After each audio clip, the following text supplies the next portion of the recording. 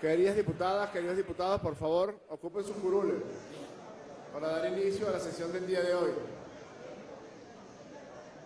Ciudadana secretaria, sírvase informar si hay quórum. Hay quórum, ciudadano presidente. Se abre la sesión. Ciudad- Ciudadano, subsecretario, sírvase dar lectura al proyecto de acta de la sesión ordinaria del día martes, primero de octubre de 2024.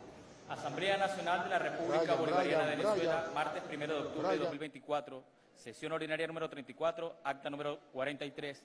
El presidente de la Asamblea Nacional, diputado Jorge Rodríguez Gómez, previo anuncio de Secretaría del Quórum Reglamentario, abrió la sesión ordinaria con la asistencia de la Junta Directiva en pleno y de las diputadas y de los diputados indicados en lista anexa. Por ser esta acta un registro sucinto de lo acontecido en el hemiciclo de sesiones del Palacio Federal Legislativo, se ordena anexar a la misma la intervención de todas las diputadas y de todos los diputados que participaron en esta sesión ordinaria, así como las propuestas aprobadas y rechazadas en el curso del debate. Es todo, señor presidente. En consideración, las honorables diputadas y los honorables diputados que estén a favor de aprobar el proyecto de acta presentada, sírvanse con la señal de costumbre. Queda aprobada el acta correspondiente. Ciudadana secretaria, sírvase dar lectura a la cuenta. Comunicaciones suscritas por los diputados principales solicitando permiso para ausentarse e incorporar a sus suplentes respectivos indicados en lista anexa. Es todo, ciudadano presidente. En cuenta. Siguiente punto. Esto es la cuenta, ciudadano presidente. Bien, vamos a dar espacio para puntos de información, opiniones de las diputadas y los diputados, informaciones. Derecho de palabra al diputado Ramón Lobo.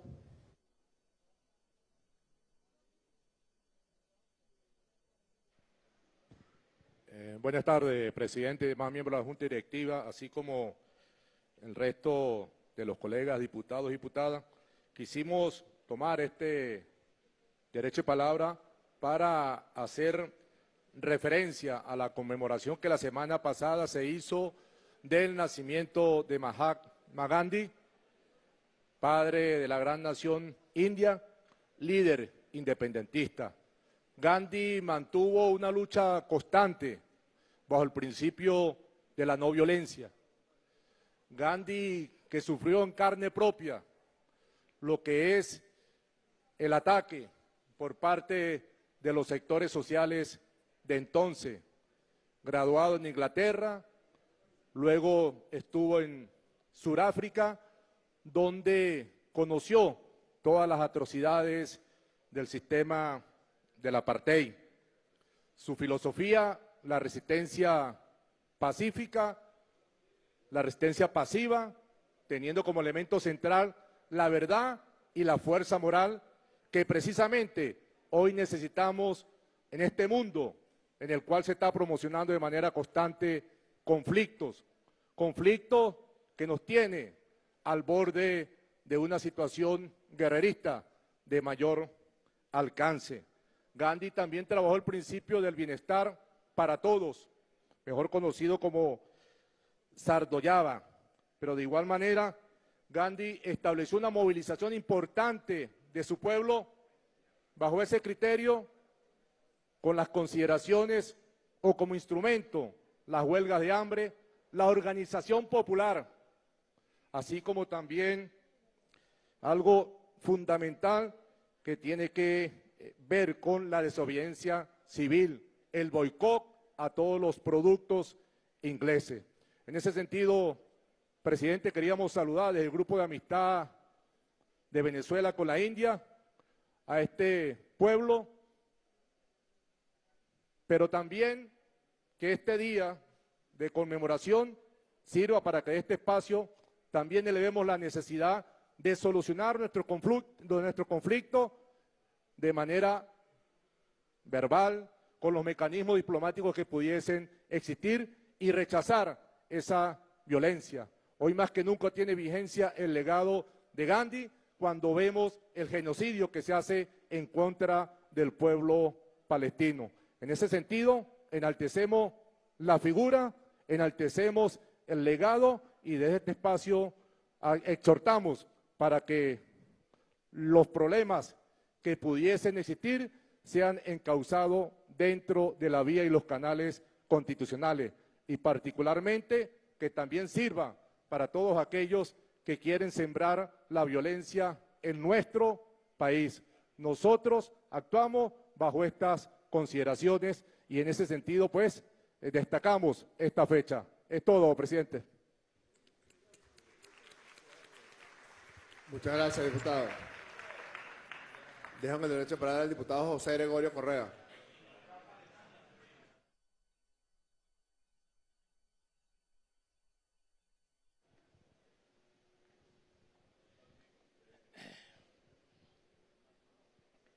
No esperes tener un problema, evita tener que buscar una solución. Eso pensó China hace 75 años al momento de la fundación de su país. Hace 75 años se fundó la República Popular China, la cual le buscaba una solución a un problema que tenía histórico. Son 75 años 75 años de un país milenario, de 1.400 billones de habitantes que hoy recorren el camino del éxito del desarrollo económico, cultural. Orden, diputados, por favor. Social y humano. Estos 75 años nosotros hemos vivido en relaciones con ellos desde el año 74 en una estrecha armonía cada una en su momento con distintos bemoles, pero nunca sin dejar reconocer el gran país que significa, que es, que representa la República Popular China. Son peculiaridades chinas las que hoy hacen la relación de Venezuela y ese país asiático. Las relaciones sino-venezolanas han ido creciendo y cada día son más estrechas y no solo en lo económico, en lo cultural, en lo social, en lo presencial, en lo tecnológico. Hoy venezolanos van a China a formarse de manera científica y tecnológica, cosa que se lo agradecemos como país, porque al fin y al cabo el que va para allá, piense como piense, no deja de ser venezolano. Señor presidente, yo quisiera proponer que para el próximo jueves ver la posibilidad de que eh, se elabore un acuerdo de júbilo con motivo de los 75 años de la fundación de la República Popular China y se nombre alguna comisión que asista a la embajada a entregar este acuerdo, el cual permita evidenciar las relaciones que tenemos entre Venezuela y China desde el punto de vista legislativo, que es lo que nos ocupa a nosotros como diputados. Estas relaciones han sido provechosas y prósperas desde el punto de vista parlamentario. No podemos abandonar esta relación y no nos puede quedar otra cosa que celebrar, que festejar y que hacer como propio este, esta alegría que embarga al pueblo chino.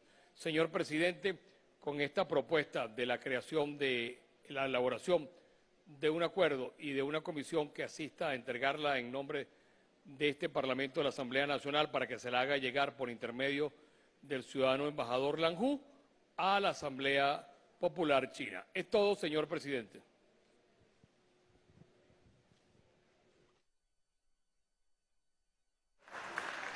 Muchas gracias, diputado. Por favor, ciudadana secretaria, incluya la proposición del diputado para que sea llevada a la cuenta de la próxima sesión. Dejo en derecho de palabra a la diputada, a la diputada Caterín Guanipa.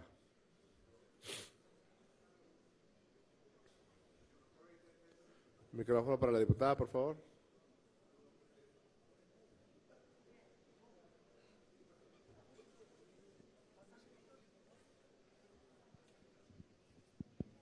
Muy buenas tardes. Quiero saludar de manera muy especial a nuestro presidente Jorge Rodríguez Gómez, a nuestro primer vicepresidente Pedro Infante, nuestra hermana segunda vicepresidenta América Pérez, a nuestros secretarios y secretarias, a todos mis colegas, diputados, diputadas. Hoy, 8 de octubre, he solicitado este derecho de palabra para significar dos hechos importantes. El primero de ellos es el Día del Guerrillero Heroico, en honor a nuestro comandante Che Guevara.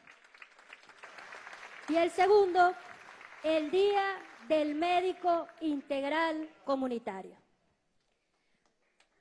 Nuestro querido Che nos inspiró a ver la medicina con una visión social preventiva y equitativa a través de su ejemplo. Visionario, antiimperialista, de esos hombres de estos tiempos, pero también de los tiempos futuros, quien reflejó la dignidad de los pueblos. Hoy su pensamiento y obra seguirá siendo acción, acción permanente de los que no descansamos por ver un mundo mejor y posible con la moral y los principios y valores auténticos revolucionarios. La lucha guevarista está impresa en las luchas nuestras como médicos integrales comunitarios. Y qué honor siento que hoy puedo desde este espacio, desde este honorable hemiciclo, con mis hermanos diputados y diputadas, hacerle un honor y un justo reconocimiento a todos mis colegas médicos integrales comunitarios que se encuentran en este justo momento dando la batalla, aportando su granito de arena en cada consultorio médico popular, en cada CDI, en cada hospital, en cada aula de clase.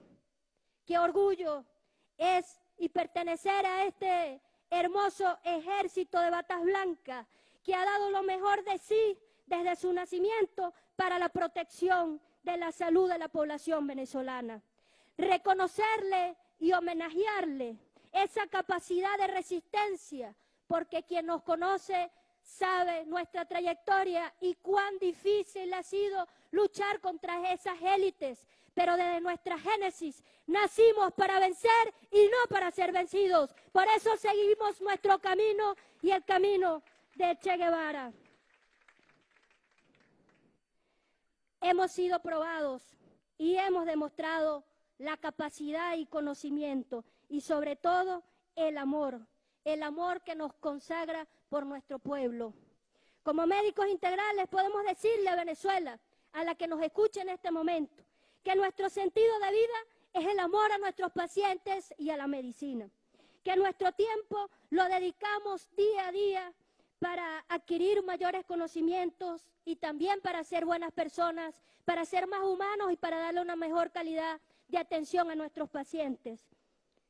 Y que cuente nuestro pueblo venezolano con este ejército de batas blancas que va a estar todos los días puesto y dispuesto para ser parte de la solución. En nuestras manos no se perderá la República. En nuestras manos está el darle una mejor calidad a nuestro pueblo. Y como decía nuestro Che Guevara, hasta la victoria siempre. Que viva el Che, que viva nuestro gigante Hugo Chávez, creador de este hermoso proyecto, y que viva nuestro presidente Nicolás Maduro. Y gracias, mil gracias por creer en nosotros. Muchas gracias, diputada. Yo quisiera informar a este honorable cuerpo que en razón del proceso de diálogo político que esta Asamblea Nacional emprendió por decisión de la plenaria la pasada semana, sostuvimos reuniones con todos los factores políticos, al menos todos fueron invitados, todos los factores políticos que hacen vida dentro de la vida política venezolana y debidamente acreditados por el Consejo Nacional Electoral participaron en el evento electoral del pasado 28 de julio de este año 2024. El objeto, como bien fue eh, establecido por esta asamblea, es profundizar las transformaciones necesarias en el ámbito legal, en el ámbito técnico y trabajar los elementos que a los que nos combina la Constitución de la República Bolivariana de Venezuela para ajustar las leyes electorales a los nuevos tiempos, sobre todo por la aparición de formas de agresión descarada en contra del pueblo de Venezuela y en contra de nuestro territorio y de nuestra institucionalidad, ya llevadas adelante con el mayor desparpajo, con el mayor descaro, hasta con la convocatoria a colectas para promover invasiones y asesinatos en Venezuela. Uno de los principios fundamentales derivados del debate de esta Asamblea Nacional son, aun cuando son verdades de perogrullo, necesariamente tienen que ser resaltados porque forman parte de las muestras que ha dado un sector de la política venezolana contrario a la Constitución y a las leyes de la República.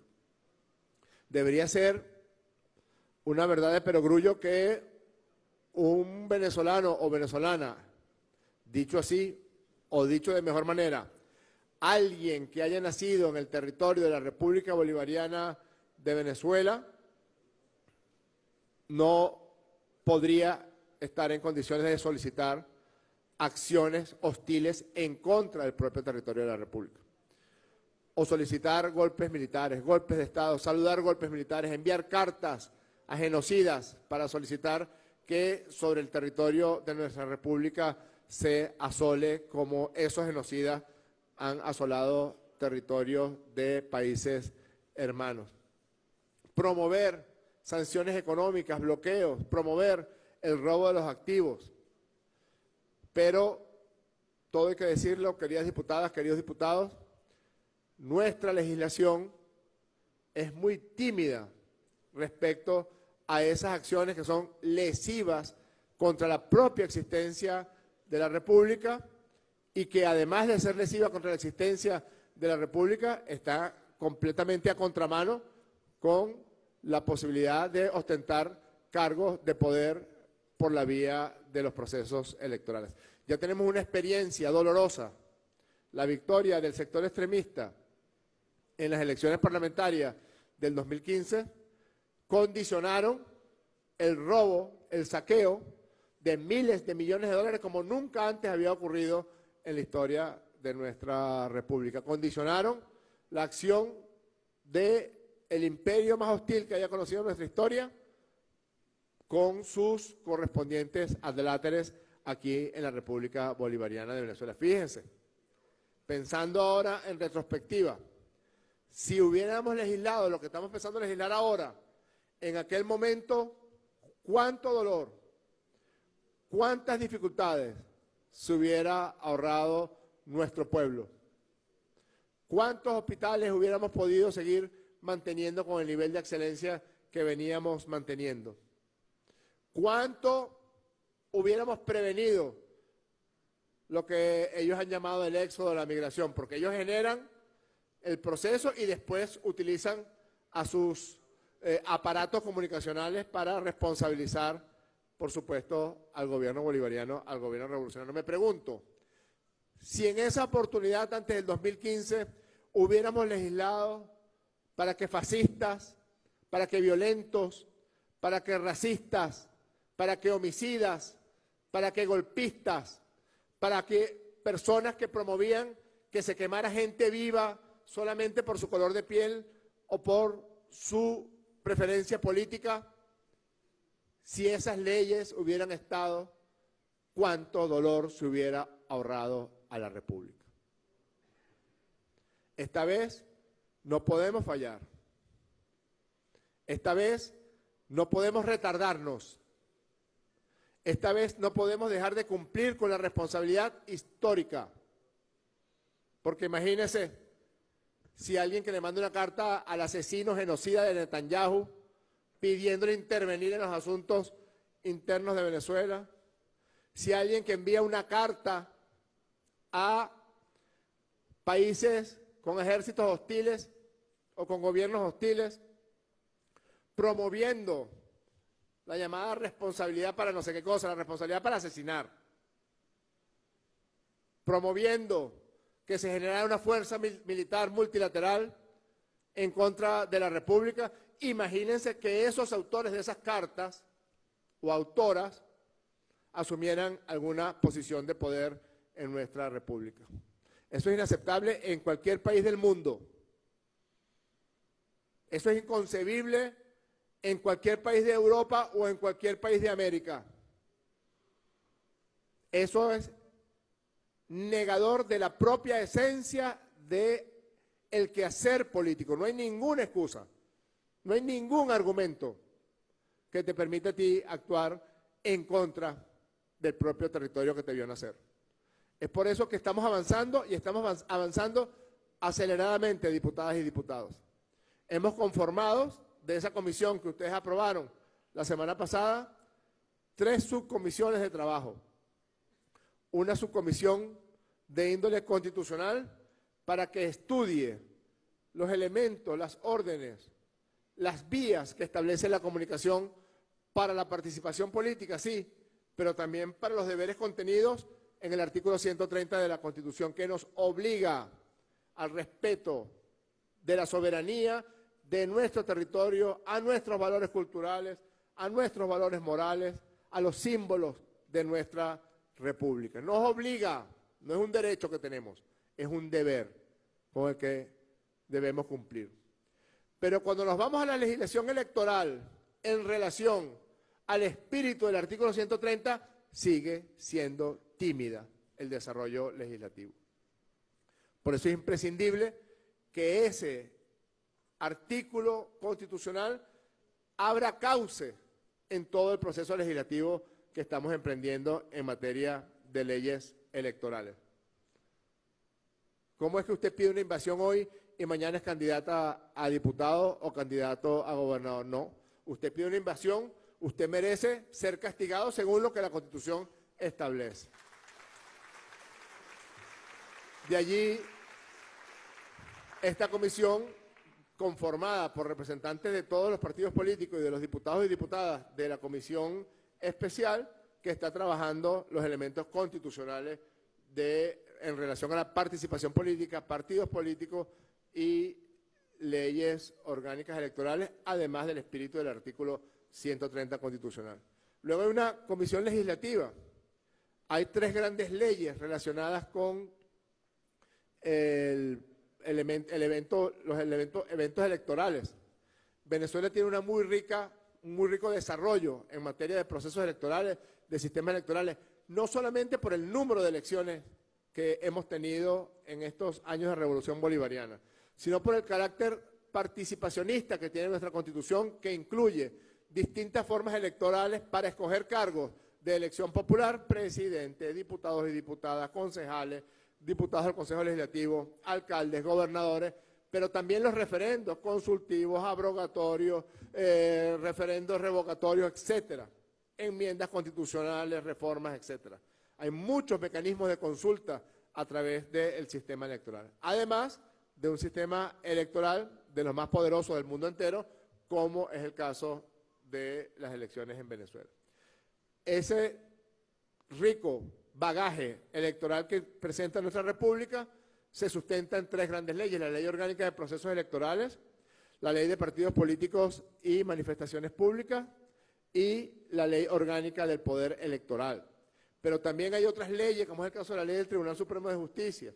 Hay otras leyes y otras sentencias del Tribunal Supremo de Justicia en sala electoral o en sala constitucional que se han referido quizás a vacíos que se encuentran en esas leyes. ¿Cuál es la idea de esta comisión legislativa? El estudio de todas las leyes electorales y de todos los resultados provenientes o del Poder Electoral en sus resoluciones o del Tribunal Supremo de Justicia en sala constitucional y en sala electoral para adecuar las leyes a los nuevos tiempos donde además sea más claro, sea más expedito el proceso de vehículos de participación política como son los partidos políticos y los grupos electores. Ya está bueno, ya está bueno de esa especie de, de bazar persa de partidos políticos, ya está bueno de las irregularidades, ya está bueno que aparecen supuestas autoridades de partidos políticos que no son reconocidas absolutamente por ningún militante y que ningún militante es consultado en el momento. Las verdaderas dictaduras son esas dictaduras de esos partidos políticos que tienen la misma directiva desde hace 40 años y no han convocado a un solo congreso ni a un solo mecanismo de consulta. Eso tiene que acabarse. Y si usted quiere tener un partido político, consúltenle a sus militantes cuáles son sus dirigentes. Esa es la comisión legislativa que va a trabajar los elementos relacionados con las leyes electorales y las, los elementos decisorios que han provenido del Consejo Nacional Electoral y del Tribunal Supremo de Justicia. Y luego está ya el trabajo más técnico de los partidos políticos y la participación política para llevar los niveles de participación directamente a las bases. Se los digo de nuevo, a veces encontramos gente, ¿usted quién es? Fulana, y que no, yo tengo un partido político. ¿Y cómo se llama? Tal. Y entonces usted va a revisar el historial de ese partido en el Consejo Nacional Electoral y ha ido cambiando de manos, como si la cosa fuera una bodega como si la cosa fuera un, un conuco, y entonces van pasando, entonces, no, te lo vendo y te lo compro. ¿Qué es eso? ¿Esto es democracia? No. Eso es corrupción.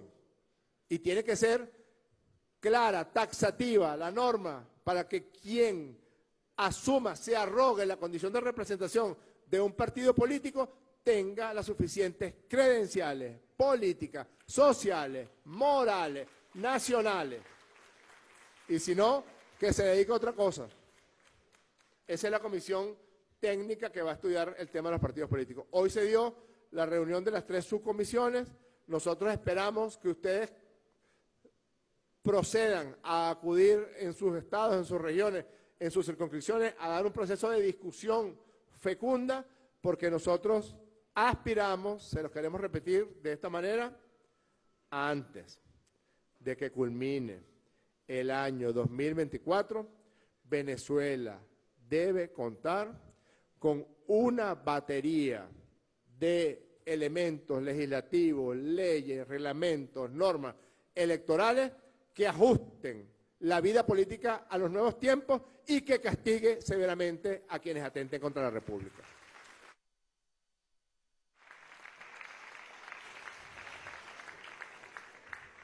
¿No hay nadie más anotado en derecho de palabra? Se va a cerrar. Se cierra. Ciudadana secretaria, por favor, si va a hacer lectura al proyecto del orden del día de hoy.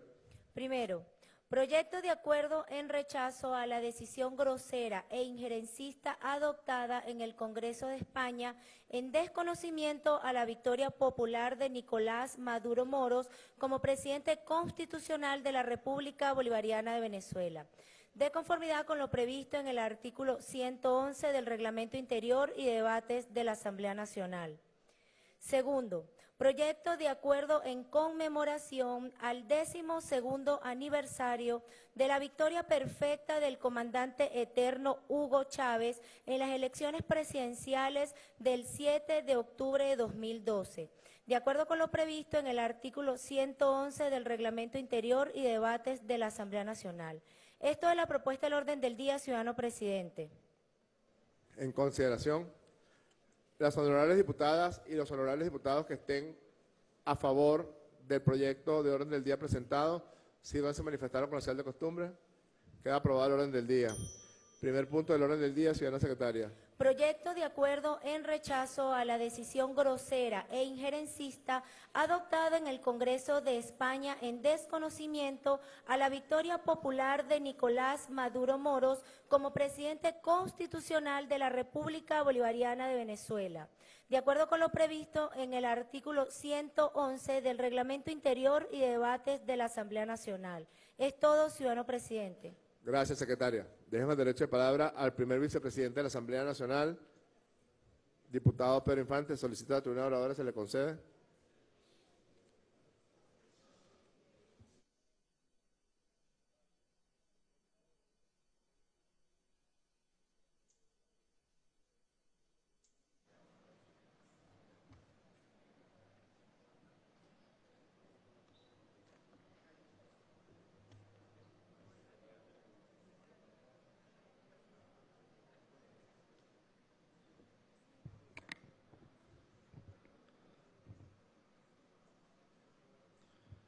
Buenas tardes, queridos parlamentarios, parlamentarias. Buenas tardes, compañero Jorge Rodríguez Gómez, presidente de nuestra Asamblea Nacional, compañera América Pérez, segunda vicepresidenta. Buenas tardes a todo el pueblo de Venezuela, todo nuestro amado, querido, trabajador, luchador pueblo venezolano.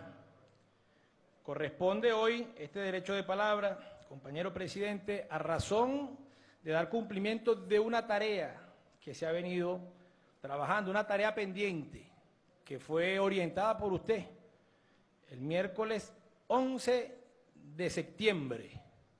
Debemos recordar aquella fecha.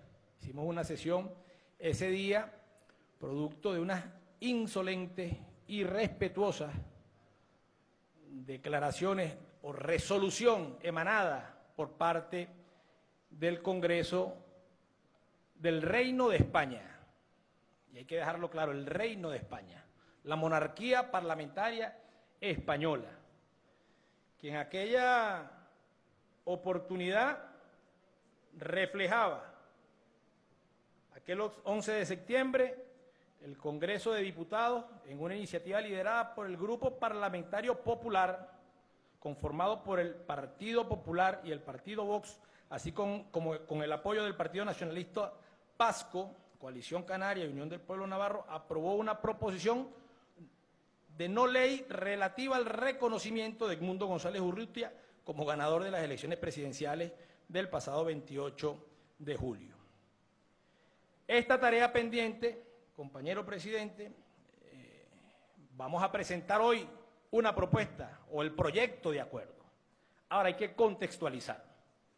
Venezuela es hoy objeto de ataques sostenidos por parte del imperialismo norteamericano, quien tiene una base de operaciones fundamental en España pudiéramos recordar algo que mencionó en alguna oportunidad el comandante Chávez y el presidente Nicolás Maduro en reiteradas ocasiones, ese eje Miami, Madrid, Bogotá.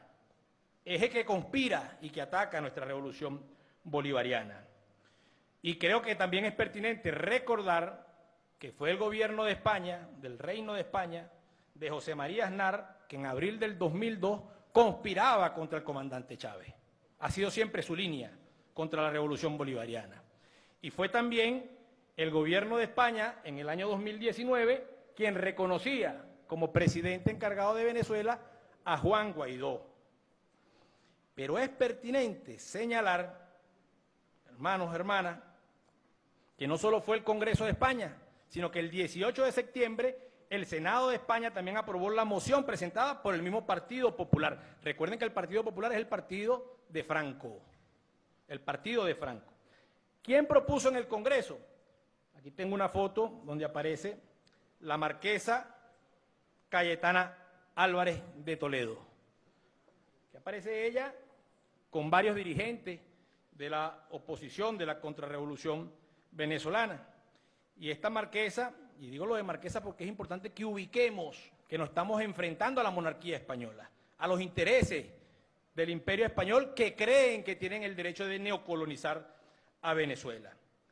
Ahora, desde acá debemos recordar que España, el reino de España es actualmente refugio de delincuentes de Venezuela, de ladrones, de asesinos y de traidores a la patria.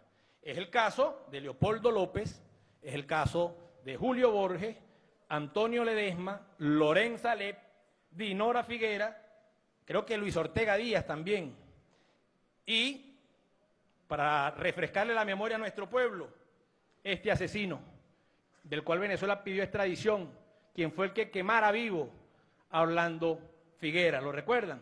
Enzo Franchini Oliveiro está refugiado en España. La monarquía de España el gobierno de España refugia delincuentes venezolanos que atentan contra la paz, contra la estabilidad y contra los intereses del pueblo.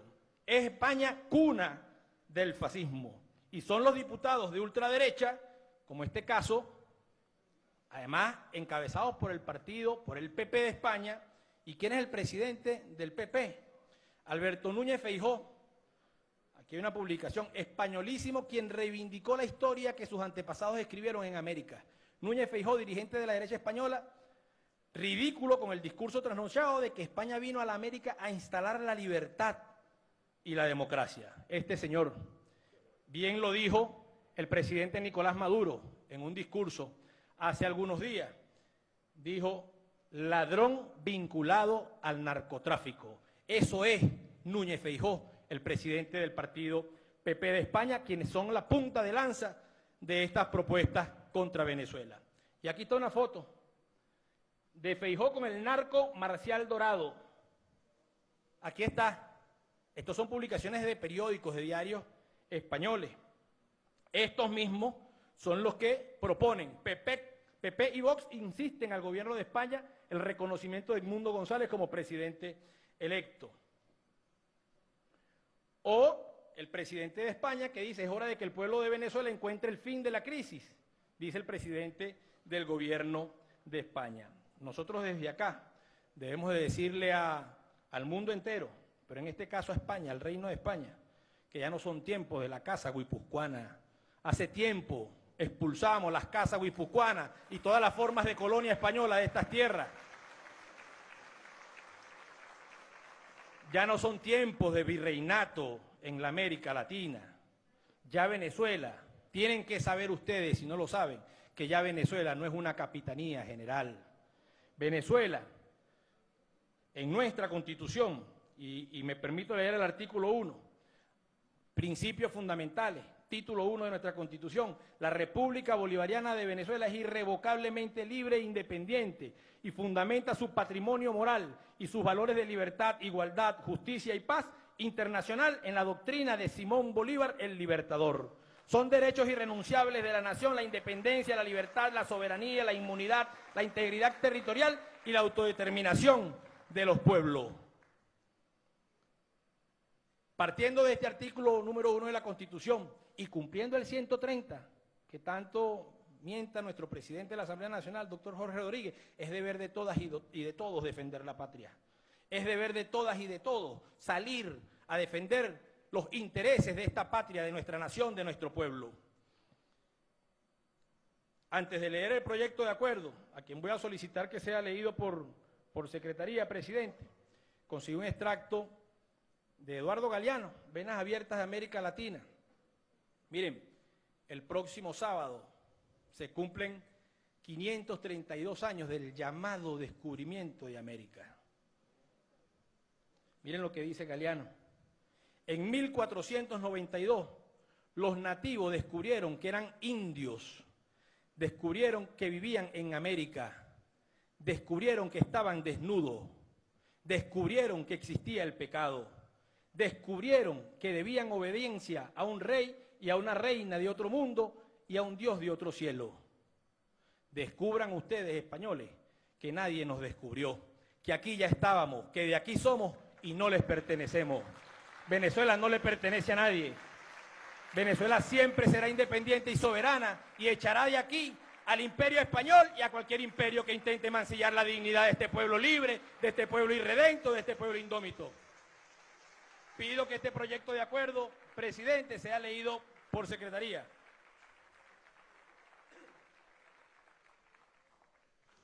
Muchísimas gracias, querido vicepresidente Pedro Infante, ciudadana secretaria. Siguiendo las orientaciones del vicepresidente Infante, sirve a lectura al proyecto de acuerdo. Acuerdo en rechazo a la decisión grosera e injerencista adoptada en el Congreso de Diputados de España en desconocimiento a la victoria popular de Nicolás Maduro Moros como presidente constitucional de la República Bolivariana de Venezuela. Considerando que el 11 de septiembre de 2024 el Congreso de los Diputados del Reino de España aprobó una resolución mediante la cual solicitó al presidente de su gobierno reconocer al señor Edmundo González Urrutia como presidente electo. Semejante exabrupto pretende desconocer la institucionalidad democrática del país y la voluntad soberana de todo un pueblo que legítimamente eligió a Nicolás Maduro Moros como presidente de la República Bolivariana de Venezuela que durante los últimos años la ultraderecha española ha refugiado a criminales fascistas y terroristas convictos y confesos, quienes han promovido golpes de Estado fallidos en el país así como la explosión de violencia para generar desestabilización política y social, incluidas las acciones fascistas de los días 29, 30 y 31 de julio, en los que 27 venezolanos fueron salvajemente asesinados por el extremismo agrupado en los llamados comanditos que no son otra cosa que células activadas para el asesinato, el amedrentamiento y el racismo que jamás aceptaremos que ningún gobierno extranjero o instancia internacional imponga condiciones y se inmiscuya en nuestros asuntos internos. Un hecho inobjetable y evidente es que la República Bolivariana de Venezuela es un país libre, soberano e independiente desde hace más de 200 años, cuando los españoles mordieron el polvo de la derrota que puso fin a su régimen colonial. Por lo tanto, tenemos la firme decisión de continuar, respetando nuestra soberanía, la integridad territorial y el derecho a la autodeterminación. Acuerda, primero, rechazar categóricamente la nefasta resolución promovida por la derecha fascista del Congreso de los Diputados de España, así como exhortarles a respetar la decisión del pueblo venezolano que eligió soberanamente al ciudadano Nicolás Maduro Moros como presidente reelecto de la República Bolivariana de Venezuela. Segundo, instar al Ejecutivo Nacional para que evalúe en un tiempo perentorio la ruptura de relaciones diplomáticas y comerciales con el Reino de España.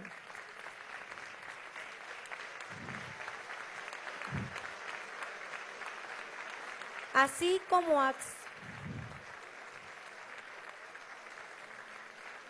así como acción recíproca por la grosera e injerencista proposición adoptada en el Congreso de los Diputados de España en contra de la institucionalidad venezolana. Tercero, publicar el presente acuerdo en la Gaceta Oficial de la República Bolivariana de Venezuela y dar máxima difusión del mismo, dado, firmado y sellado en el Palacio Federal Legislativo, sede de la Asamblea Nacional, en Caracas, a los ocho días del mes de octubre de 2024, años 214 de la independencia, 165 de la Federación y 25 de la Revolución Bolivariana. Es todo, ciudadano presidente.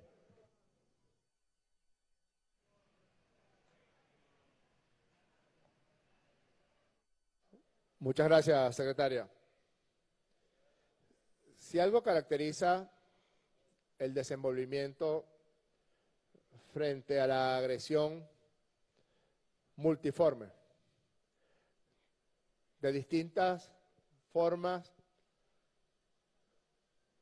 se me ocurre decir, incluso arqueológicas, de expresión imperial, que va desde el imperio más brutal que haya conocido en la historia de la humanidad, el representado por el aparato militar industrial de los Estados Unidos de América, hasta imperios otrora florecientes, que por muy florecientes que fueran, mordieron el polvo de la derrota en esta tierra americana.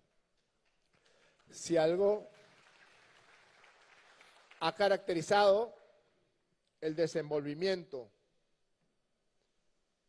de la revolución bolivariana, del pueblo de Venezuela, del comandante Hugo Chávez, del presidente Nicolás Maduro, de las instituciones democráticas republicanas, ha sido la paciencia y el respeto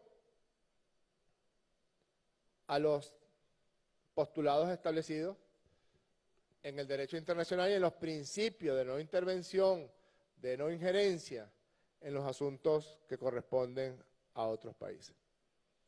Tenemos una, marca genética de jamás. No sé cuántos otros pueblos de este planeta pueden ostentar ese blasón pero tenemos la marca genética de que este país, este pueblo, jamás ha salido de su frontera, ni ha salido una palabra de sus líderes para atentar, para agredir o para inmiscuirse en los asuntos de otros países. Hemos tenido paciencia, pero la paciencia se agota. No es un recurso natural renovable. Se agota la paciencia, sobre todo porque en el fondo, así como nosotros tenemos una marca genética de respeto, de decencia, de dignidad, de parsimonia, también tenemos una marca genética de respeto a nuestra soberanía y a nuestra independencia. Y diera la impresión, hablando en términos un poco de psicología de masas, que hay un sector de la política española que no nos perdona, que hace 200 años los derrotamos y los hicimos huir como ratas de la planicie de Junín para liberar al Perú. Y que hace 200 años se protagonizó la más gloriosa página de la historia, incluso en términos militares, con la batalla de Ayacucho y la gloria del gran mariscal Antonio José de Sucre. Pareciera que insisten en reclamarnos y en agredirnos por eso. Porque si no, ¿cómo se justifica que, se haya, que España incluso le haya quitado la medalla de oro a Miami y a Florida en el refugio de delincuentes, de golpistas, de racistas, de fascistas, de asesinos? ¿Cómo se justifica? ¿Cómo se justifica que ya esté Julio Borges y no haya un tribunal en España que acepte la solicitud hecha por los familiares del niño que él asesinó? ¿Cómo se justifica que ya esté Leopoldo López, que es responsable del asesinato de venezolanos en el año 2013 y en el año 2019? ¿Cómo se justifica que ya esté el que asesinó a sangre fría el que quemó vivo a Orlando Figueroa y no hay un tribunal decente en el reino de España que entregue ese criminal para que fuera juzgado por las leyes venezolanas. ¿Cómo se justifica? ¿Cómo se justifica que las llamadas cortes, que el Congreso de España se arrogue condición de extraterritorialidad y decida sustituir al poder electoral de Venezuela. Y asumen ellos reconocer a un señor ahí, a un tembloroso señor cobarde que pareciera que ha venido recuperando algo de aplomo comiendo jamón serrano 5J en las calles de Madrid. Algo de aplomo. Porque alguien lo cuida ya. Alguien le da plata allá. Eso fue a buscar. Y alguien le da su vino tinto y su jamón serrano 5J allá. Por reducción al absurdo, y no tanto. El Congreso de España decide proponerle al gobierno español que reconozca al tembleque ese. Por reducción al absurdo, y no tanto, yo propongo un acuerdo político de esta Asamblea Nacional para que se exhorte al gobierno de España sea abolida la monarquía. Y lo voy a votar en este momento. En consideración las honorables diputadas y los honorables diputados de la República Bolivariana de Venezuela que estén a favor con proponerle al gobierno de España que sea abolida la monarquía de los Borbones, que no ha servido para otra cosa, que no sea para la corrupción, para el desmadre, para la expresión de la ultraderecha. Aprobado.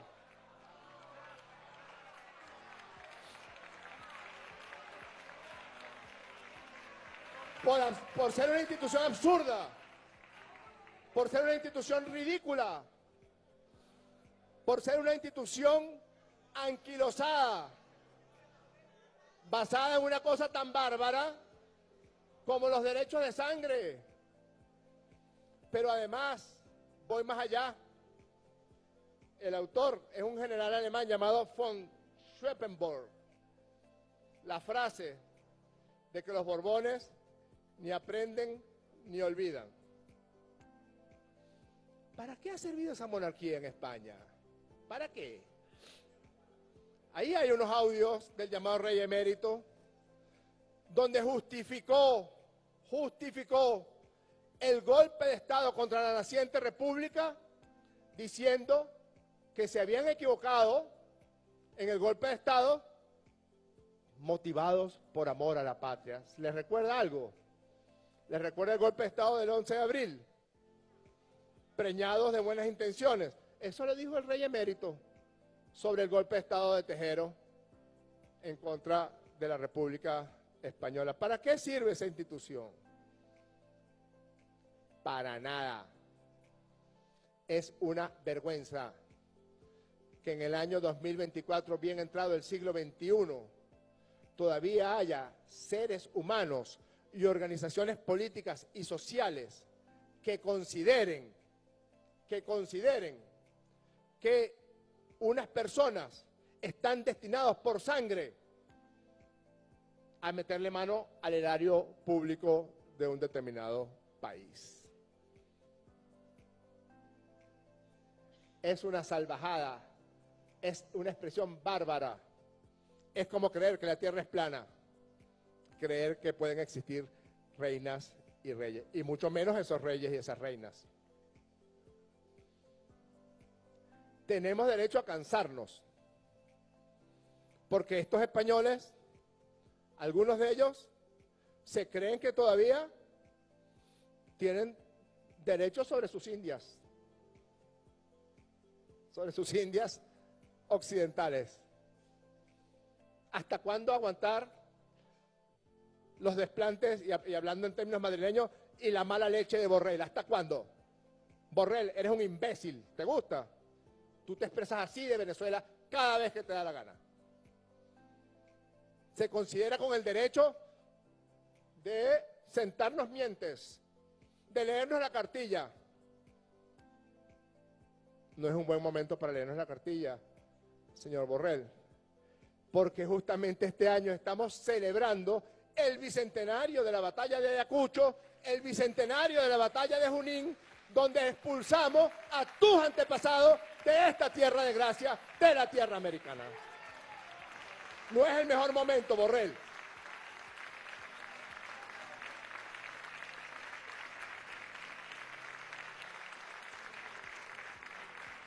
Y si también votamos un acuerdo político para declarar la independencia de Cataluña, si nos provoca, y si votamos un acuerdo político para declarar la independencia del País Vasco y que se decrete la persecución, la persecución de todos aquellos representantes del Estado español que torturaron, asesinaron y desaparecieron españoles, vascos, catalanes y que no pagaron por sus crímenes o si pagaron. No, hubo una ley del olvido. Esa es la transición de la que a ellos les gusta hablar. Fue una transición donde perdonaron a los asesinos, perdonaron a los torturadores y aceptaron al muñeco de torta de Juan, de Juan Carlos como rey. Esa fue la transición de la supuesta democracia española. Quizás haya que traducir al castellano de allá esta frase, quien tiene rabo de paja no se acerca a la candela. Porque, como decía, como decía Jorge Luis Borges, lo decía Borges, no yo, un problema que tienen los españoles es que hablan muy mal el castellano. Lo decía Jorge Luis Borges. Porque claro, nuestro castellano es mucho más rico, porque es más joven, y porque todo hay que decirlo, las mayores glorias de la literatura en lengua castellana provienen de este territorio, del continente americano.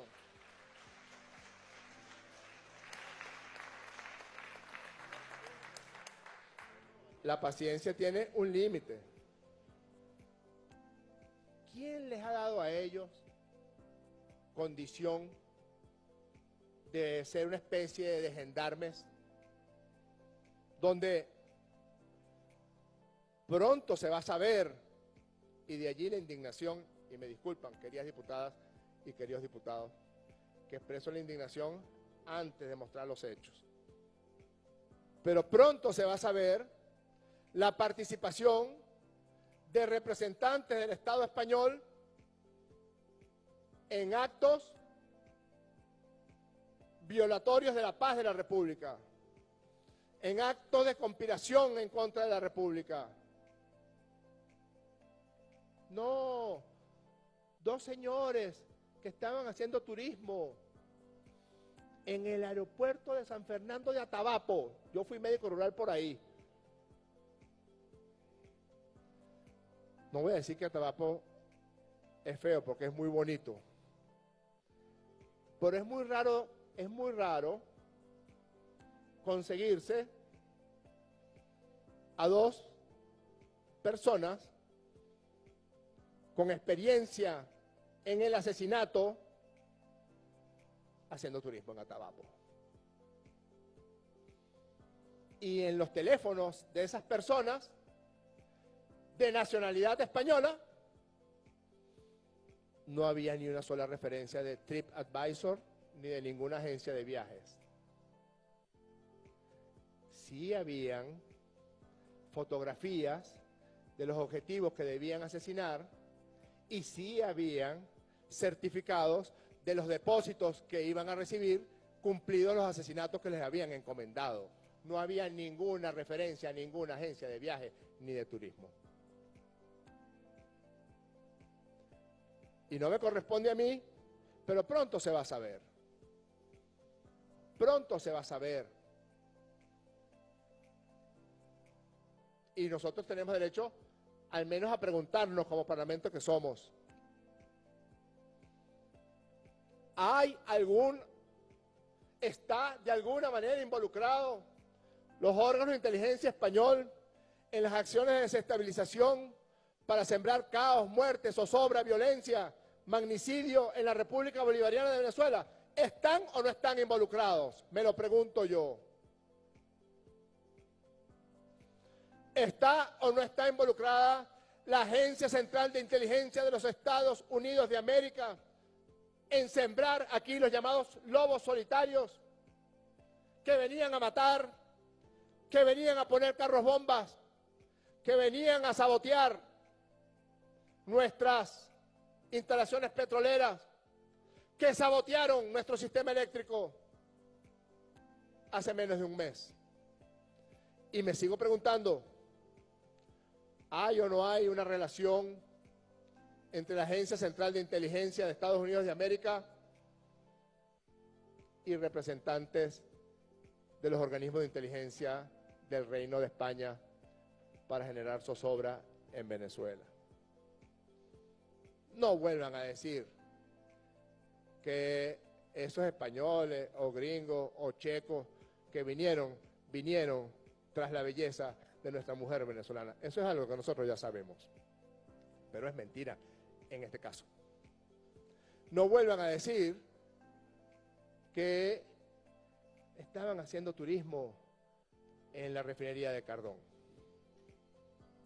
O que estaban haciendo turismo en la represa de Guri. Porque lo que está en sus teléfonos celulares es cualquier cosa menos la planificación de un viaje de turismo. Cualquier cosa.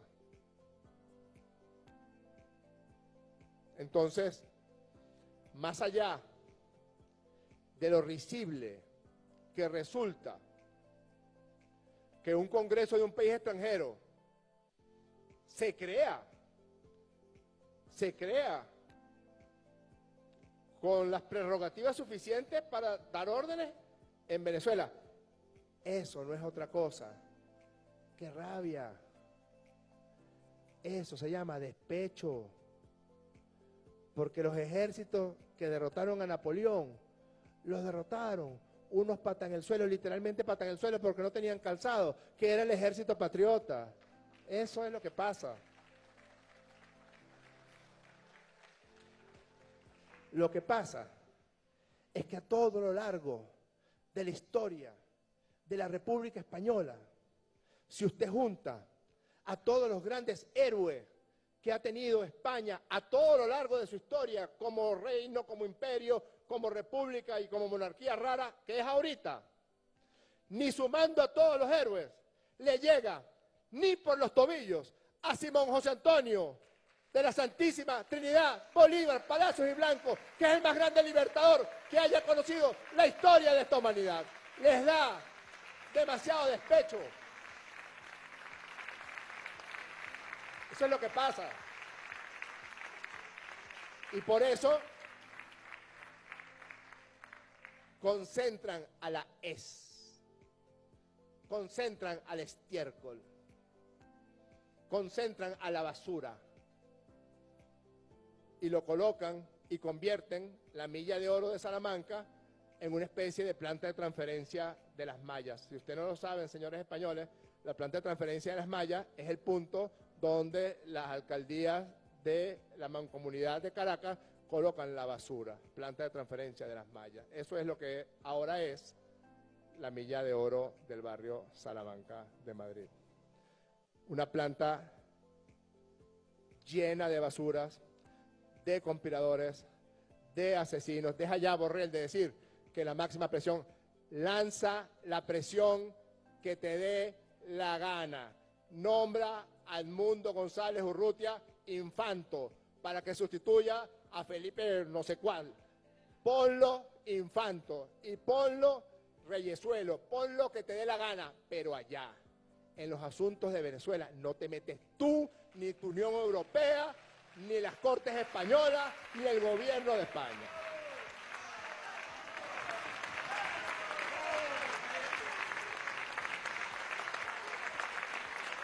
Porque claro que voy a hablar, no hoy, claro que voy a decir todo lo que a mí me dijo González Urrutia. Tan cobarde que es que deja hasta mal parado al embajador de España y el embajador de España todavía lo cuida y lo defiende. Porque si fue coaccionado y presionado, fue con la complicidad del embajador de España, según lo que dice el narcotraficante de Feijó. Eso dice Feijó, que cómo es posible que el embajador de España haya sido cómplice de la coacción a la que fue sometido el pobre viejecito por del cielo Ina Rodríguez y Jorge Rodríguez. Eso lo dice el narcotraficante este, o en todo caso, una persona que le gusta vacacionar en yates con narcotraficantes, para no decir el narcotraficante. Pero le encanta andar en un yate con narcotraficantes. Dime con quién andas. Con su cara tan lavada. Y después ha dicho que él no sabía que era narcotraficante. Sería el único habitante de este planeta, porque hasta, hasta series habían hecho con ese señor, el dueño del narcotráfico en Galicia. ¿Van a venir ahora a qué? ¿A darnos lecciones de qué? Porque yo sí voy a contar todo lo que González Urrutia dijo. Todo. Todo. Yo sí voy a contar por qué se negó a atender el teléfono a María Corina Machado. Voy a contar. Yo sí voy a contar por qué apenas llegó a España, lo primero que hizo fue organizar una cena para recoger plata porque usando sus mismas palabras, María Corina Machado lo tenía mamando y loco aquí en Venezuela. Sus mismas palabras. Yo sí voy a contar todo, porque eres un cobarde sin palabra, González Urrutia. Como no tienes palabra, voy a decir todo lo que dijiste de María Corina Machado, de por qué te querías ir rápidamente, por qué estuvo tres días el avión esperándote en República Dominicana, ¿Por qué te peleaste con el embajador de Países Bajos? Que de metiche, de metiche te dijo, cobarde, quédate. Y ahora andan con todas sus campañas, con las que andan, mintiendo, cuando la verdad es que jamás tenía ninguna intención de ponerse al frente de ningún movimiento conspirador. Otra vez volvieron a utilizar a la gente. Otra vez utilizaron al pueblo de Venezuela como carne de cañón y asesinaron a 27 venezolanos y venezolanas. Y otra vez utilizaron a algunos de sus militantes para que fueran ellos los protagonistas de la violencia. Porque no tienen ni un atisbo así de valor, ni siquiera, para asumir ellos sus propias responsabilidades. Julio Borges no ha asumido responsabilidad por ninguno de los venezolanos asesinados. Julio Borges no ha, tenido ni siquiera un pequeño rapto de parsimonia para pedirle disculpas a los migrantes venezolanos que él propició cuando los llamó basura.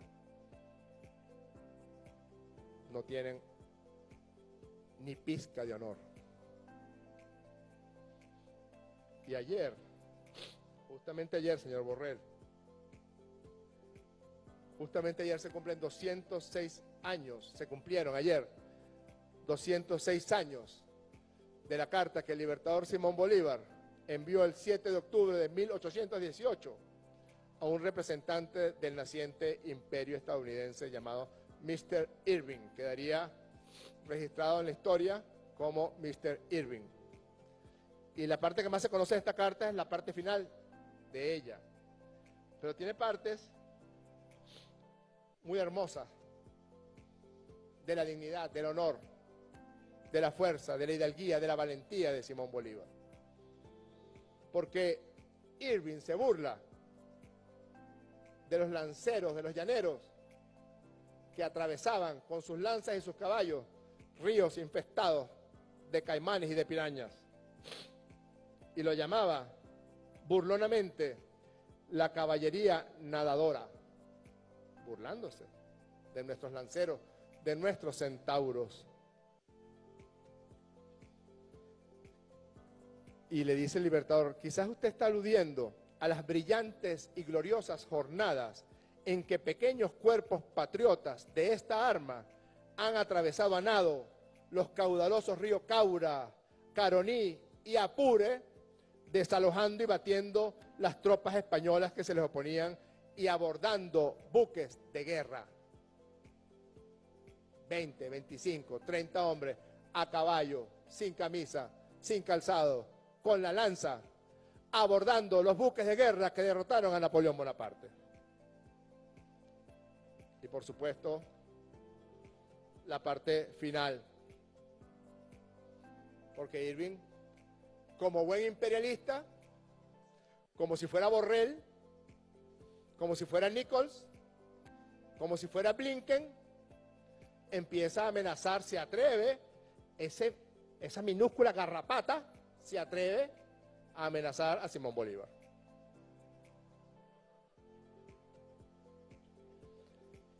Y Bolívar le responde, el pertinaz empeño y acaloramiento de vuestra excelencia en sostener lo que no es defendible, sino atacando nuestros derechos, no es defendible, sino atacando nuestros derechos, Borrell.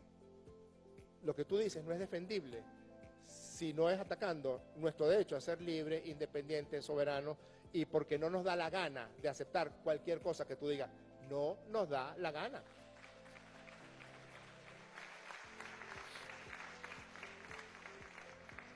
Me hace extender la vista.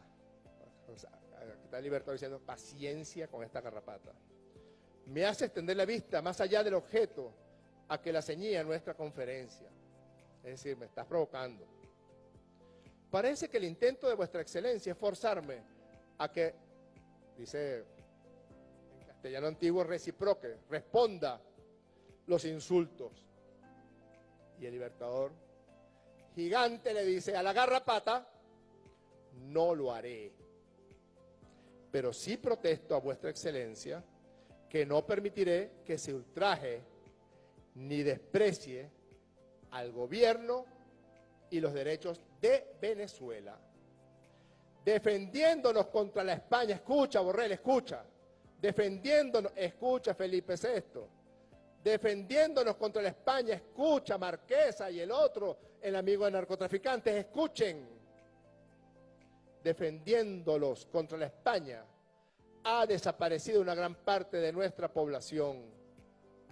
Y el resto que queda, y aquí agrego yo, y las generaciones por venir,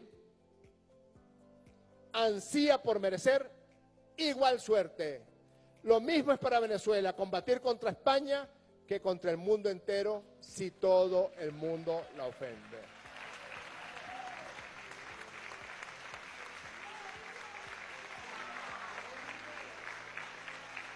La paciencia tiene un límite y hemos sido pacientes.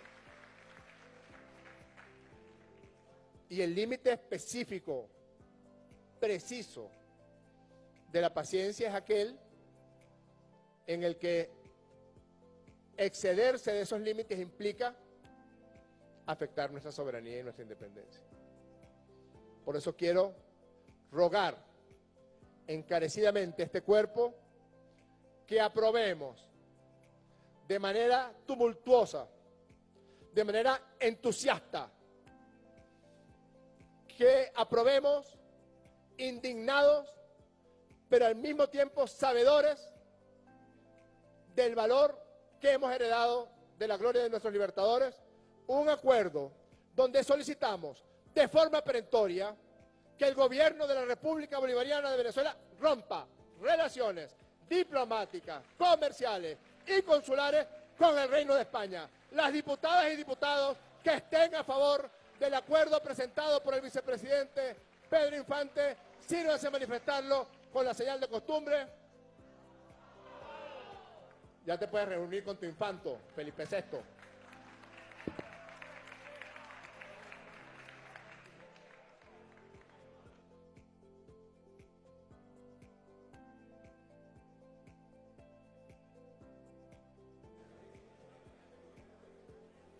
Sírvase publicar el acuerdo aprobado y enviar el acuerdo debidamente firmado al ciudadano presidente constitucional de la República Bolivariana de Venezuela, ciudadano Nicolás Maduro Moros. Siguiente punto del orden del día, ciudadana secretaria. Proyecto de acuerdo en conmemoración al décimo segundo aniversario de la victoria perfecta del comandante eterno Hugo Chávez en las elecciones presidenciales del 7 de octubre de 2012, de acuerdo con lo previsto en el artículo 111 del Reglamento Interior y de Debates de la Asamblea Nacional. Es todo, ciudadano presidente. Gracias, secretaria. Voy a dejar en el derecho de palabra al diputado Fernando Bastida. Solicita la primera oradora, se le concede.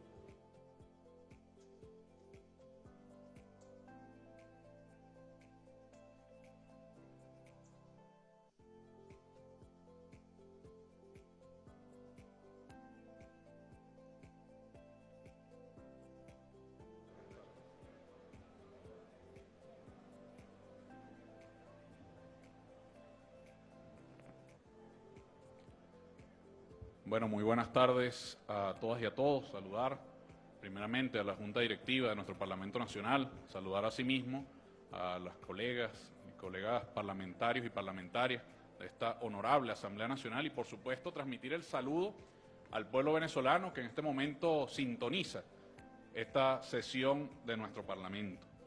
Estamos en este derecho de palabra aquí ante esta tribuna de oradores para presentar un acuerdo en ocasión de los 12 años de la victoria perfecta del 7 de octubre. 12 años que se cumplieron el día de ayer lunes, 7 de octubre. Y con respecto a este punto, creo que nosotros pudiéramos evocar distintos asuntos, distintas experiencias, distintas vivencias que cada uno de nosotros, que cada una de nosotras pudo haber tenido hace 12 años.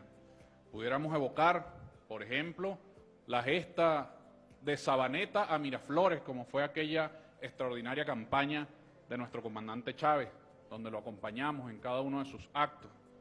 Pudiéramos evocar también aquel momento extraordinario, glorioso, del 4 de octubre con las siete avenidas repletas de pueblo aquí en la ciudad capital y la lluvia bendita del cordonazo de San Francisco. O pudiéramos evocar también sobre este 7 de octubre, pudiéramos evocar la imagen y la figura de superhombre, de aquel superhombre del que hablaba Nietzsche, a Hugo Chávez, el superhombre, el que se sobrepuso a sí mismo y se sobrepuso a su propia naturaleza para convertirse en un gigante y liderizar a todo un pueblo en esa gesta de hace 12 años frente a una gran batalla electoral. Todo esto lo pudiéramos evocar y seguramente tendríamos mucho que decir, pero yo quisiera aprovechar esta ocasión para destacar algo que creo muy importante sobre el 7 de octubre. Y es que el propio comandante Chávez, esa misma noche del 7 de octubre, y en el balcón del pueblo, nos decía a quienes estábamos allí, al pueblo que lo sintonizaba, al mundo que lo estaba viendo a través de los medios de comunicación, nos decía que el 7 de octubre no solamente fue una jornada electoral, sino que en el 7 de octubre ocurrieron muchas cosas para Venezuela. Y ciertamente es así, porque el 7 de octubre, más allá de una jornada electoral, significó una jornada que se convirtió en un desencadenante histórico para nuestra patria. ¿Por qué un desencadenante histórico? Bueno, primero porque el 7 de octubre fue el cúmulo de un conjunto de luchas del pueblo, que durante los años precedentes, en la primera década de este siglo XXI, llevó a la revolución bolivariana a realizar con el liderazgo de Hugo Chávez un conjunto de transformaciones en favor de reivindicaciones esenciales para los más pobres, para los más humildes. La revolución bolivariana en esa primera década sacó de la pobreza a millones de personas, a millones de familias. Esa pobreza del 60% acumulada a finales del siglo XX, esa miseria de casi 20% de indigencia de la población acumulada a finales del siglo XX fue revertida gracias a la revolución bolivariana. Y la disposición de la riqueza nacional al servicio de las grandes mayorías fue revertida gracias a la revolución bolivariana. Y todas esas luchas sucesivas durante esos años precedentes fueron los que llevaron a un 7 de octubre victorioso, a esa gran victoria perfecta. Pero además de esto, creo que es preciso destacar que el 7 de octubre también tiene un carácter trascendental porque fue la primera vez que nosotros, las fuerzas revolucionarias, enfrentábamos no a un mandadero político de la burguesía, sino a una expresión como candidato a la presidencia de la propia burguesía expresada en el candidato de ese entonces, Enrique Capriles Radonsky, y que representaba lo que era el proyecto de la antipatria, lo que sigue representando como proyecto de la antipatria. Y esto nos lleva a un tercer elemento que también debemos destacar como trascendencia que significa el 7 de octubre, y es que el 7 de octubre dibujó el horizonte político justamente frente a ese proyecto de antipatria, el horizonte político de Venezuela, en el cual la mayoría de nuestro pueblo, consciente de un plan de gobierno que por primera vez se presenta ante el pueblo venezolano como plan para el futuro, el plan de la patria, decidió ir por el camino bolivariano, por el camino revolucionario y por el camino del socialismo con su voto mayoritario. Estos son tres aspectos que nosotros tenemos que destacar, pero asimismo es fundamental destacar y decir que el 7 de octubre también signó la figura trascendental o sublimó la figura del comandante Hugo Chávez a una figura trascendental para la historia. No solamente como el gran líder político que todos conocemos y todos tenemos referencia, sino a la dimensión de Hugo Chávez como proyecto histórico que hoy nos sigue convocando a una gran batalla por la defensa de la patria, a una gran batalla por la soberanía de la patria y a una gran batalla por la dignificación de nuestro pueblo. Yo quisiera cerrar esta intervención, esta presentación de este proyecto de acuerdo, sobre lo cual se pudiera decir muchas cosas, con una referencia que hiciera el mismo comandante Chávez unos días después durante su acto de proclamación ante el Poder Electoral el día 10 de octubre del 2012. Y él refería una carta que le escribiera el libertador Simón Bolívar al general Rafael Urdaneta, por allá en septiembre de 1830, en el ocaso, en la situación más crítica de la Gran Colombia. Y le decía, solo las elecciones, le decía Bolívar al general Urdaneta, solo las elecciones me pudieran bañar de la legitimidad que necesito para retornar, como ustedes quieren, a la presidencia de la República. Pero después de las elecciones se abrirá el horizonte político y sabremos si hay patria o no hay patria. Pareciera que esto cala en el 7 de octubre del 2012. Y después de 12 años, nosotros hoy podemos hacer balance histórico y decir, si tenemos patria o no tenemos patria. Hoy decimos, nosotros en Venezuela tenemos patria, la defendemos y alzamos nuestra voz siempre que toque defenderla, frente a cualquier imperio, frente a cualquier intento por destruir los grandes avances que hemos tenido en defensa de nuestra soberanía. Así que bueno, con esto culmino mi intervención.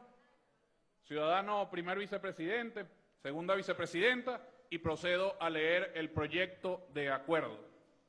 Adelante. Acuerdo en conmemoración al 12 aniversario de la victoria perfecta del comandante eterno Hugo Chávez en las elecciones presidenciales del 7 de octubre de 2012. Considerando que el 7 de octubre de 2012 el comandante eterno Hugo Chávez obtuvo una victoria electoral histórica, consolidando su liderazgo y el proyecto de la revolución bolivariana. Esta victoria perfecta no solo representó el respaldo popular masivo al comandante Chávez, sino también la confirmación de que el pueblo venezolano estaba dispuesto a defender los logros alcanzados en materia de soberanía, justicia social y bienestar colectivo. Considerando el proceso bolivariano impulsado por el comandante eterno Hugo Chávez ha sido un ejemplo de resistencia frente a las presiones externas y de construcción de un modelo de desarrollo inclusivo y solidario, impulsando políticas de redistribución de la riqueza, el, el fortalecimiento del Estado y el empoderamiento de las bases populares como ejemplo de democracia participativa y protagónica. Son solo algunos de los logros de esta revolución. Considerando que hoy, es decir, ayer, lunes 7 de octubre, a 12 años de este triunfo histórico, el pueblo venezolano recuerda esta fecha con gran sentimiento y amor por nuestro comandante presidente y líder de la revolución bolivariana, quien alcanzó una histórica votación de más de 8 millones de votos. Acuerda, primero, conmemorar los 12 años de la victoria electoral perfecta por parte del comandante eterno Hugo Chávez como una expresión del poder del pueblo y la voluntad de seguir avanzando hacia una Venezuela más justa y soberana. Segundo, continuar el legado del comandante eterno Hugo Chávez para garantizar la prosecución de la revolución bolivariana y consolidar una nación próspera, socialista y profundamente revolucionaria. Tercero, publicar el presente acuerdo en la Gaceta Oficial de la República Bolivariana de Venezuela y dar máxima difusión del mismo. Dado, firmado y sellado en el Palacio Federal Legislativo, sede de la Asamblea Nacional en Caracas, a los ocho días del mes de octubre de 2024, años 214 de la independencia, 165 de la Federación y 25 de la Revolución Bolivariana. Es todo. Muchas gracias. ¡Que viva Chávez! ¡Que viva el 7 de octubre! y que viva la patria venezolana.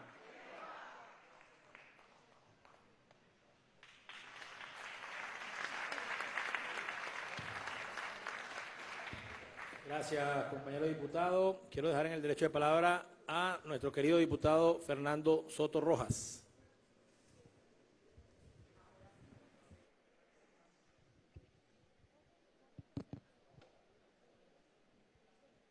Bueno, yo creo que vivimos tiempos de deslinde y de definiciones una vez más en la tierra de Bolívar.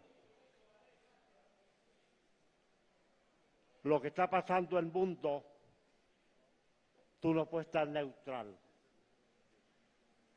Tienes que tomar decisiones y definiciones políticas.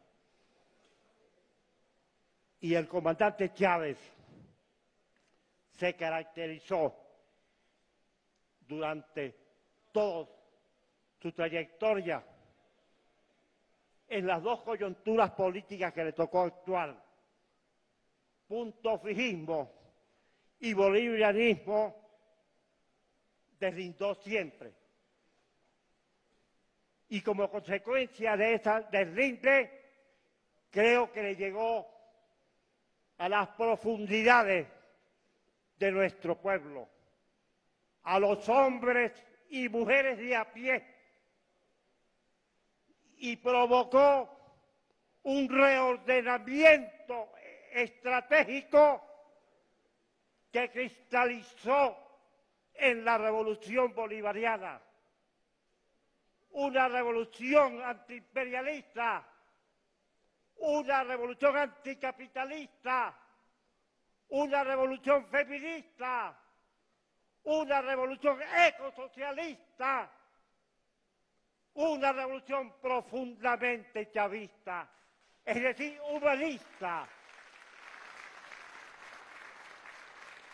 Creo que hemos dado todo el huerco teórico, político necesario para el transitar.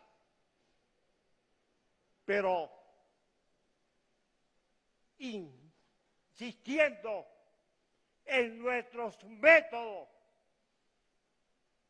de trabajo que tienen que ser colectivos, en los estilos de trabajo.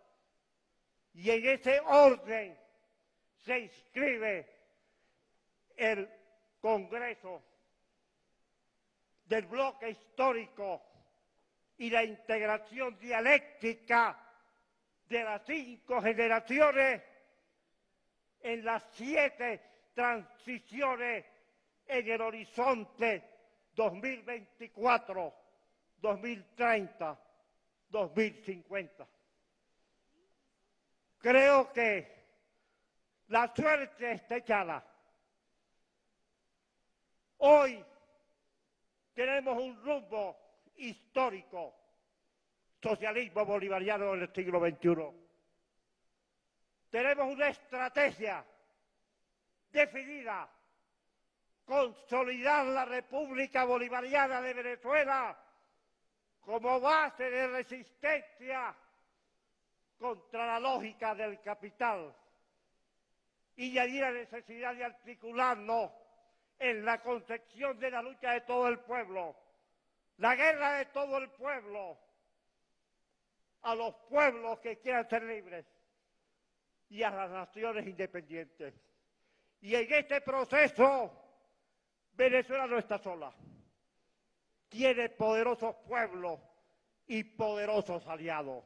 Lanza hacia la historia 10 o 15 mil años de resistencia a origen, 300 del imperio español y 200 de la era republicana, yo creo que estamos en el mejor momento histórico. No hay otro. Yo he revisado y revisado y creo que estamos en un buen momento. Pero es desde el rinde, camarada. No se puede estar con culipandeo en esta situación. Y esto es lo lamentable, que todavía los compatriotas que están aquí en la oposición no han hecho un trabajo serio de rectificación política e histórica del camino recorrido. Chávez fue Chávez y es Chávez. Bolívar fue Bolívar y es Bolívar porque siempre le dieron cuenta ante el pueblo.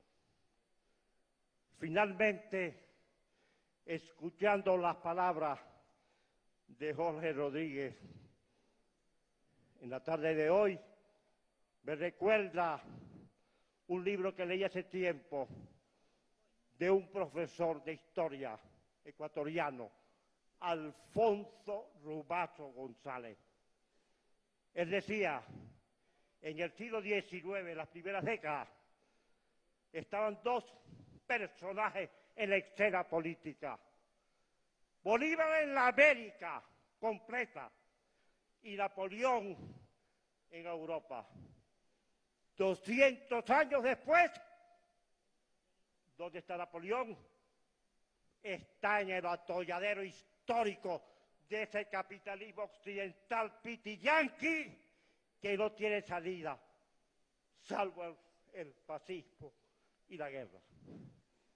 Nosotros, como pueblo combatiente por la independencia y por la libertad, estamos unidos con la doctrina bolivariana, con la estrategia de Zamora y de Bolívar, y no veo otro horizonte que la victoria. Por eso, carajo, yo siempre soy, he sido siempre optimista frente al destino de este pueblo. Es todo.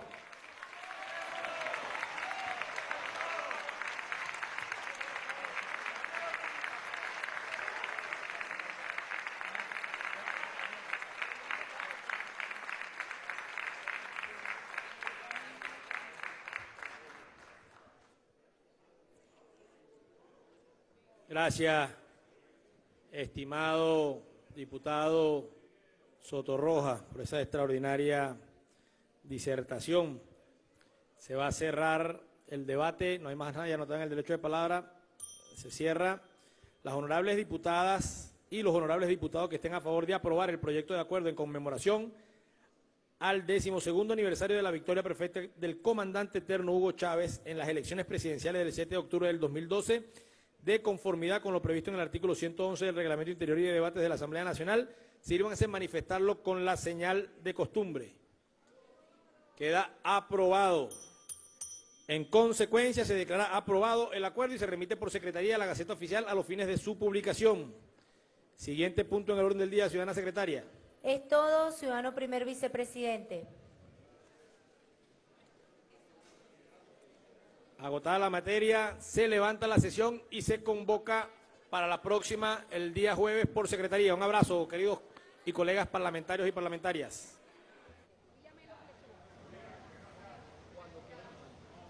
Usuarios y usuarias de ANTV ha culminado la sesión ordinaria de hoy, martes 8 de octubre de 2024, la cual inició con el punto de información en el cual tomó el derecho de palabra el diputado Ramón Lobo para resaltar la conmemoración de un año más del natalicio de Mahatma Gandhi. Dentro del punto de información también tomó el derecho de palabra el diputado José Gregorio Correa para destacar los 75 años de la fundación de la República Popular China. También tomó el derecho de palabra la diputada Catherine Guanipa, quien conmemoró con sus palabras el Día del Guerrillero Heroico y el Día del Médico y Médica Comunitaria. Finalizó con el presidente de la Asamblea Nacional, diputado Jorge Rodríguez, quien ofreció un balance de la Comisión Especial de Diálogo Político para la Transformación y Actualización de las Leyes Electorales. Iniciando ya con la agenda del día, el primer punto del, eh, la destacó el primer vicepresidente de la Asamblea Nacional, diputado Pedro Infante, quien presentó el proyecto de acuerdo en rechazo a la decisión grosera e injerencista adoptada en el Congreso de España en desconocimiento a la victoria popular de Nicolás Maduro Moros como presidente constitucional de la República Bolivariana de Venezuela, quedando aprobado en plenaria. Y como segundo punto, el diputado Fernando Bastidas presentó el proyecto de acuerdo en conmemoración a la victoria perfecta del comandante Hugo Chávez en las elecciones presidenciales del 7 de octubre de 2012. Dentro de este punto tomó el derecho de palabra el diputado Fernando Soto Rojas. Importante destacar que este proyecto de acuerdo quedó aprobado en plenaria. Y bien, así finalizamos nuestra transmisión de AN en directo. Agradecemos su sintonía y nos vemos en una próxima sesión ordinaria de la Asamblea Nacional. Adelante, máster.